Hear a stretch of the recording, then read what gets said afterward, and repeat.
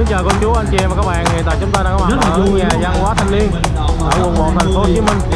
Hôm nay là ngày 2 tháng 10 năm 2022 và tại đây đang diễn ra một cái lễ hội ẩm thực rất là vui nhộn do Coca-Cola phối hợp với shop Bin Food tổ chức. Bây giờ mình sẽ đi quay à, khung cảnh bên trong cho mọi người xem nha. Bây giờ là buổi trưa ngày chủ nhật. À, vì à, không gian ở bên trong rất là ồn nên mình sẽ không à, mời các bạn cùng đi vào trong tham quan với mình nha ok let's go